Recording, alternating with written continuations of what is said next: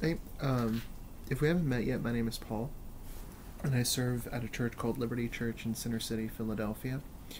I'm currently in the backyard of my house in South Philly, um, enjoying a, a pipe and trying to think through how to do this video, um, and hoping that's not too long. But, uh, anyway, yeah, this, this assignment was really was really kind of odd for me. I was, was trying to do it in the beginning. It really just brought up a lot of stuff that eventually derailed my participation in the assignment.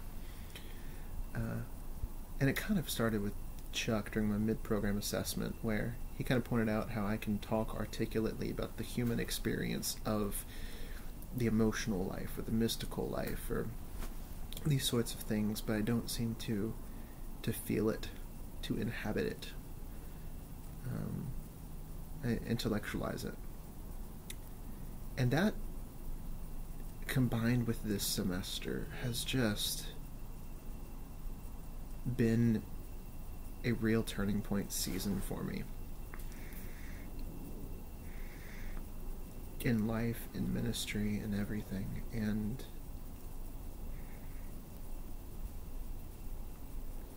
and I realized that it, as I went to to pay attention as part of this assignment, um, first off, I was way too distracted about the mechanics of it.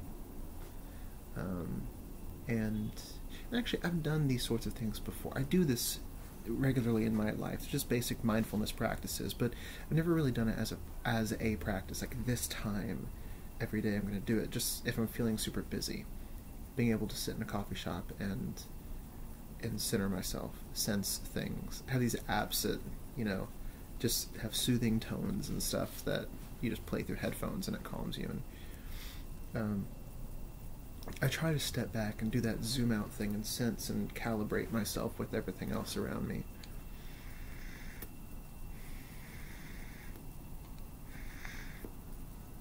But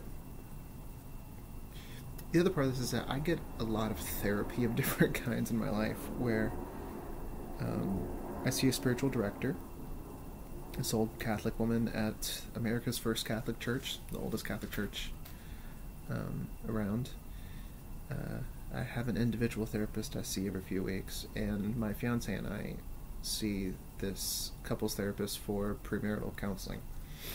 And they're all amazing, and they're all insightful, and they've all been noticing the same thing that Chuck mentioned in, my mid-program assessment. This, how I, I, experience emotions, but I don't inhabit them. I don't really feel them. I, I take the experience of emotion, that storm inside of me, and intellectualize it as a way to defend from truly experiencing it. And so I've I've become pretty good at the physical paying attention moments that were the beginning of this assignment where you just kind of what are your senses? How does your body feel? What, how do your feet feel on the ground? What sensations are you experiencing? But the more emotional side has been incredibly difficult for me as I've realized the disconnect I have from my own emotions. I mean, they're there. It's a presence, but it it's more nameless for me. It's I've realized just how how odd it is. I fancied myself on really knowing myself and my emotions really well, and now I don't. I, I can I can notice I'm feeling things, but I I have a profound inability to actually name them. If that makes any sense, and so this assignment really pointed that out. And as I've been going through therapy and going down deeper into this, it just feels like the root of so much of my inner life is shame.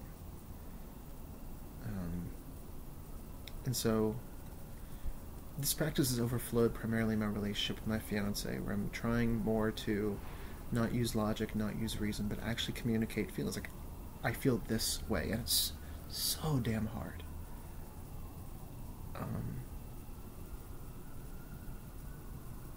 so that was the hardest part of this. It's affected how I go through ministry, how I go through. Um, every, I mean, it's I feel like it's created a little more margin in my life. Um, people that know me know that I've, I've been blogging for over a decade. Um, and most of the time that I've had that blog, I've been blogging five days a week. Um, but in the past six months or so, I can probably count on one hand the number of posts I've put up. And it's okay. Um, I don't know why that is, but it's just created this. It's like the main space of silence for me. I'm still sitting in like room one or two in the mansion, just trying to speak grace over me as I continually trip over myself in this whole thing. But trying to stop and pay attention. It it's made me more okay with not everything needing to be communicated and put out there. Um, what was it? Other things.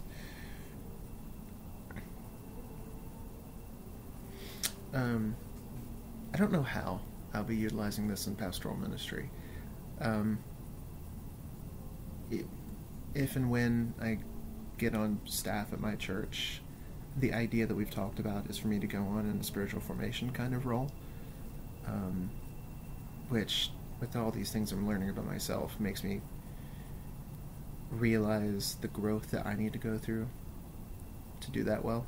Um, but I could see this being a profound part of that process, especially being in like a center city setting, a very secular setting. This does buck against the natural rhythm of everything around us.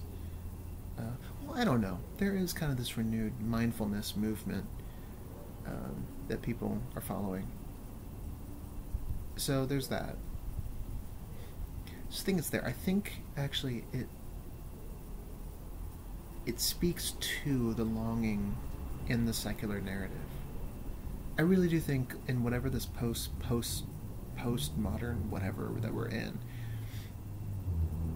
Charles Taylor would say that the world's been disenchanted, but we're surrounded by hauntings and ghosts of the things that our world used to believe.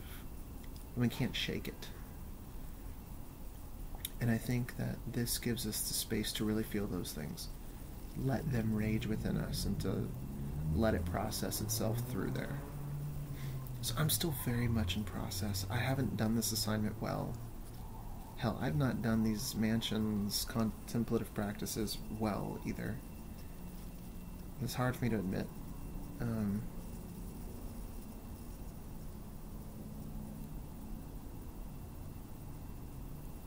yeah. I've been learning a lot about myself and my place in this world and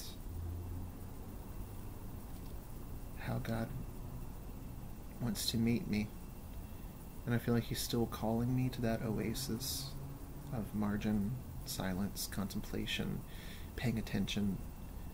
Um, and I have a quiet confidence that I'll get there, but not really tasting it yet.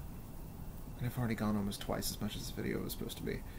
So, sorry about that. Oh, and it looks like I don't know if the audio and the video are out of sync, but if so, I'm sorry.